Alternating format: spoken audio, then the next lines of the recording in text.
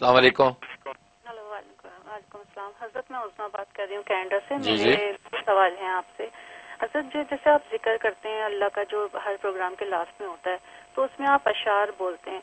तो हज़रत अगर कोई नाकसुल अकल शख्स है या मुझ जैसा बेवकूफ़ है तो क्या वो ये समझे कि मोहब्बत के लिए ढूंढ दिल कोई टूटने वाला यानी हमारा दिल टूटेगा तो अल्लाह मिलेगा या घर बार लुटा दूँ तो यानी हमें घर बार छोड़ना पड़ेगा तो मिलेगा?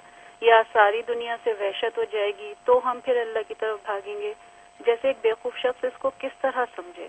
और दूसरा सवाल मेरा ये है कि इल्मुल आदात के ज़रिए अगर हम इस्तारा निकालते हैं तो क्या वो ऑथेंटिक होता है, जैसे अल्लाह हमें ख्वाब में बताए हम इस्तारा करके सोएँ, या कोई और दूसरी सूरत में?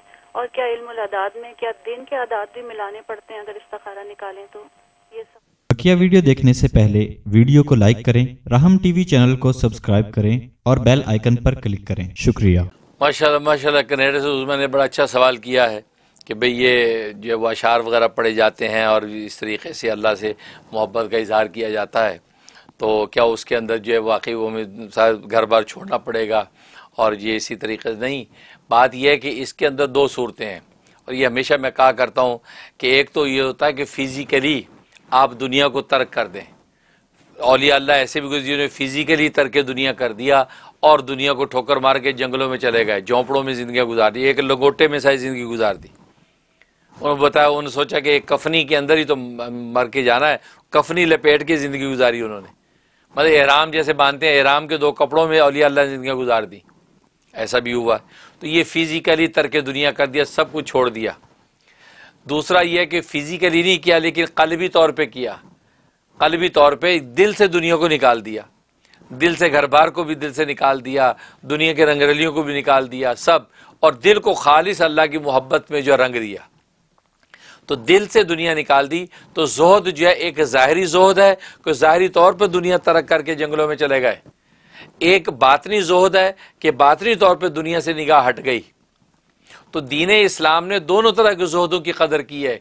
जिन्होंने ज़ाहरी तौर पर दुनिया तरक करके जंगलों को इख्तियार कर लिया तो दीन इस्लाम ने उनको भी अजमत का सलाम किया कि बड़ी अजीमत का रास्ता इख्तियार किया, भाई आसान नहीं है अपना घर बार छोड़ कर जंगलों में, झोंपड़ों में ज़िंदगी गुजारना।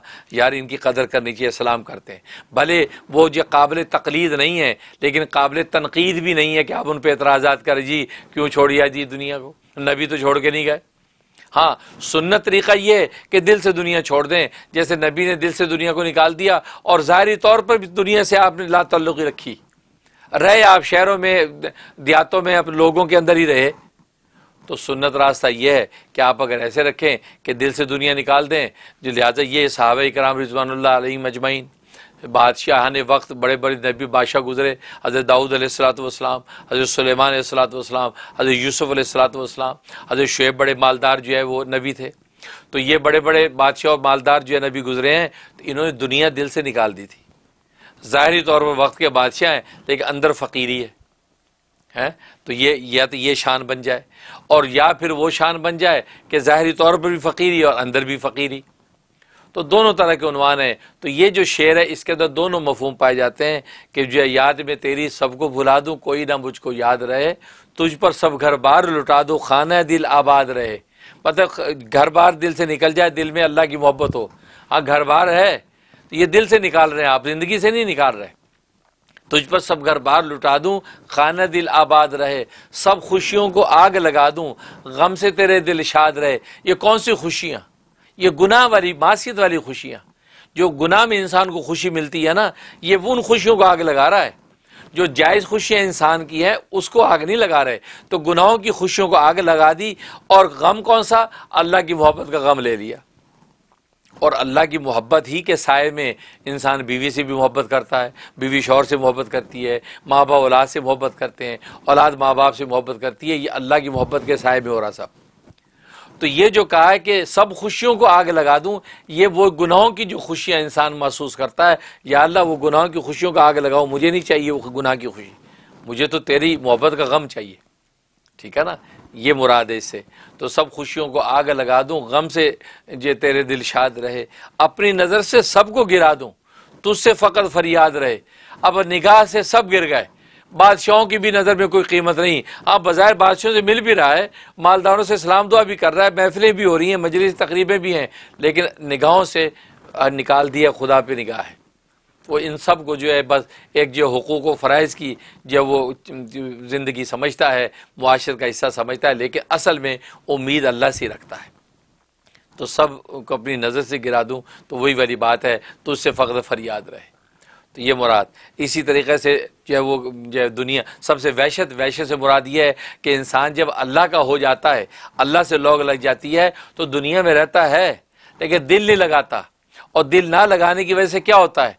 हर वक्त बस वो बेचैन होता है कि जल्दी से ही मेरा ये शरी हक पूरा हो इसका तो मैं जल्दी से मुसल्ले पे खड़ा हूँ। जल्दी से मैं जाके कुरान की तिलावत करूँ। जल्दी से नमाज़ पढ़ूँ। जैसे अजान हो जाती है, नमाज़ का वक्त है, मगरिब की मसलन अजान है टाइम कम होता है। अब आपकी कोई दोस्तें बैठी हों या कोई मस्जिद मेहमान तो आप उससे उससे कर्टिसी निभा रहे होते हैं, लेकिन अंदर अंदर बेचैनी होती है कि ये बस जल्दी जाए तो मैं जल्दी मुसल्ले पे खड़ा हूँ। ये जो आप, उससे आप वहशत हो रही है, उसके सवाल जवाब में भी आप अजनबी अजीब को सोच के जवाब दे रहे हैं। कभी आपका दिमाग कहीं है, कभी जी जी जी हाँ तो आप घड़ी पर नज़र है कि यार मगरब जाने वाली है। अब वो मुआज़ मेहमान है, ऐसा आप कह भी नहीं सकते, चलिए जी, मैं नमाज़ पढ़नी। ठीक है ना? इसको कह, ये वहशत। या अल्लाह, तेरी मोहब्बत की लौ ऐसी लग जाए कि दुनिया से मुझे इस किस्म की वहशत हो जाए। मतलब मैं तेरी मोहब्बत के गुन गाने के लिए फुर्सत निकालूं। तभी औलिया अल्लाह ऐसे गुजरे हैं कि वो दिन के सवेरों में बेचैन रहते कि यार, कब रात का अंधेरा आए लोग अपने अपने ठिकानों पर जाएँ और मैं मुसल्ला लेके खुदा के आगे खड़ा हूँ। वो बेचैन होते हैं। उनको रातें छोटी लगती हैं। खुद हज़रत फातमत तो ज़ाहरा रज़ी अल्लाह ताला रात भर अल्लाह की इबादत कर रही, कुरान की तलावत करी, कब्र सजदे की, सजदे में गिर रही हैं गिड़ गिड़ा रही, मुनाजात कर रही हैं। यहाँ तक कि वो करती आ रही हैं इबादत और यहाँ तक कि अभी दुआ मांगने के लिए हाथ उठाया कि सुबह सादिक हो गई। सुबह सादिक हो गई। तो क्या फरमाती है? अल्लाह से क्या गिला करती हैं? ए रबाल ए रबिज़ तेरी रातें इतनी छोटी हो गई। अभी तो मैंने तुझसे मांगे नहीं, फरियाद ही नहीं की, हैं? और जनाब वो रात ख़त्म हो गई। तो उनको रातों के छोटे होने का गिला था कि अल्लाह तुझसे जी भर के तो बात ही नहीं हुई।